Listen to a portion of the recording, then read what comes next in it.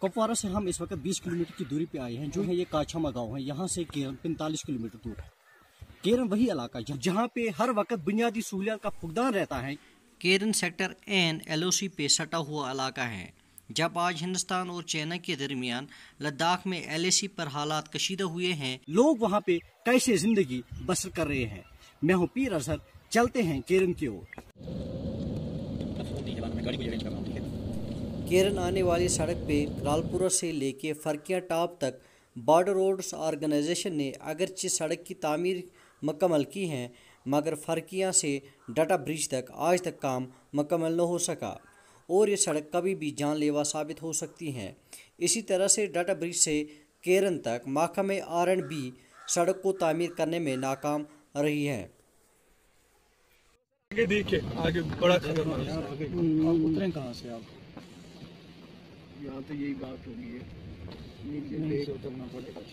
जनाबों ने फरमाया कि चीन और आ, अपना देश का मतलब जो है इंडिया का मामला है। तो ये बड़े देश है हम ये सोचते हैं।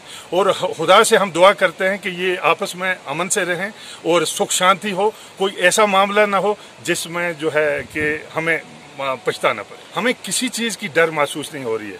अगर कहीं जंगी हालात पैदा भी होते हैं यहाँ पे ज़ीरो लाइन है तो हम जो है हम घबराने वाले नहीं हैं हम डरने वाले नहीं हैं क्योंकि हमारे साथ हमारी फ़ौज है। हम कंधे से कंधा मिला के हम फौज के साथ उठते बैठते हैं। हमने यहाँ पे ये भी पाए हैं लोग सिविल एडमिनिस्ट्रेशन से नाराज़ हैं और इंडियन आर्मी से खुश हैं। इसकी क्या वजह है? देखो किसी अपने इंडिविजुअल का कोई मामला हो कि कोई सिविल एडमिनिस्ट्रेशन से नाराज़ हो लेकिन हमारे नोटिस में तो ऐसी कोई बात नहीं है कि हम सिविल एडमिनिस्ट्रेशन से नाराज़ हैं। क्योंकि सिविल एडमिनिस्ट्रेशन अपना काम कर रही है और हमारी इंडियन आर्मी अपना काम कर रही है। तो ये दो पहलू हैं इसके तो वो अपने अपने तरीके होते हैं, आप अपने काम करने के तरीके होते हैं। इंडियन आर्मी के हवाले से अगर मैं बयान करूँ आपको, आप जनाब देख रहे हैं, यहाँ पे क्रिकेट टूर्नामेंट शुरू हो रहा है। हमारे नौ नहाल बच्चों को अंगेज रखना, हमारे जवान बच्चों को जो है ऑल इंडिया के टूर कराना, हमारे बुज़ुर्ग लोगों को जो है अजमेर शरीफ के दर्शन करवाना, केरन का मेला करवाना, यहाँ की इफ्तार पार्टियाँ करवाना यहाँ पे फ्री मेडिकल कैंप लगवाना, यहाँ पे जो है जब जब हमारी औरतें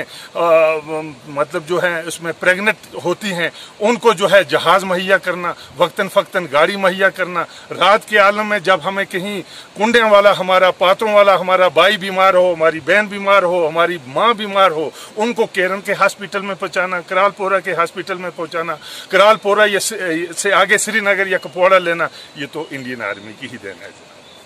जी हम जब यहाँ पे रोड से आए तो हमने देखा कि रोड की बुरी हालत है। जब यहाँ पे बर्फबारी होती है या बारिशें होती हैं तो आप उन दिनों क्या करते हैं? जनाब अगर हालात बढ़ रहे हैं तो फिर वो खत्म कभी नहीं हो सकते जनाब।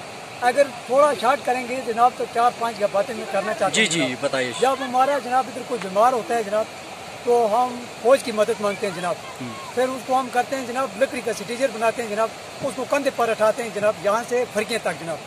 तो फिर यहाँ से लेकर फरकियाँ तक मिलियाल तक जनाब उसको ले सकते, लेते हैं हम। फिर उधर से कहीं गाड़ी तो थोड़ी बहुत मिली जनाब तो फिर वो आगे चलते हैं। फौज का कॉपरेशन आपस में चलता है जनाब? हम लोग इनके साथ कंधे में, कंधा लगा कर बैठे हैं सब, और फौज हमारे साथ, कंधे के साथ कंधा लगा कर बैठी है जनाब। उसके लिए बड़े शुक्र गुजार हैं हम, यहाँ का पोस्ट बन रहा है हमारा तो ये ओसी साहब है, हम उसके बड़े शुक्र गुजार हैं जनाब।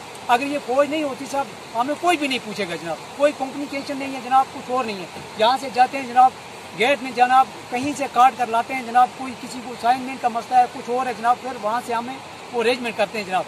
फौज करती है जनाब हमारा अरेंजमेंट अगर ये फौज यहाँ पे नहीं होगी सब हमें कुछ भी नहीं यहाँ पे पूछेगा।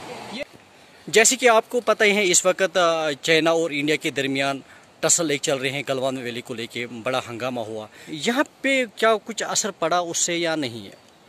लोग कैसे फील कर रहे हैं? सर, यहाँ पे बिल्कुल सेफ़ महसूस कर रहे हैं लोग। किसी चीज़ की कोई यहाँ पे दिक्कत नहीं है, कोई ऐसा क्रॉस फायर या कुछ ऐसा अभी तक कितना मतलब पर कुछ साल पहले हुआ, बट अभी यहाँ पे ये सब चीज़ें नहीं हुई।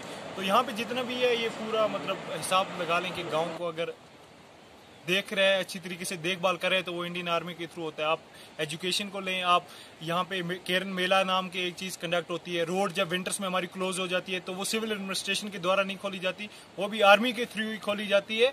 तो इसी तरह एजुकेशन या किसी भी चीज़ को जहाँ पे हम करें, जहाँ पे हमें यहाँ के जो हम सिटीजन हैं हमें जो फ़र्स्ट प्रायोरिटी होनी चाहिए वो एडमिनिस्ट्रेशन की तरफ़ से होनी चाहिए। लेकिन उन्होंने इस केरन इलाके को हमेशा नजरअंदाज किया। तो यहाँ पे जितना भी थोड़ा बहुत जितना भी काम हो रहा है चाहे वो रोड का बोलें या कोई और फैसिलिटीज़ बोलें या स्पोर्ट्स यूथ के लिए मतलब कंडक्ट कराया जा रहा है ताकि उनको एक प्लेटफॉर्म प्रोवाइड किया जाए। उसके बाद विंटर ट्यूशन के द्वारा जहाँ जहाँ तक हेल्प होती है ये पूरा इंडियन आर्मी के थ्रू यहाँ पे केरन सेक्टर में होती है।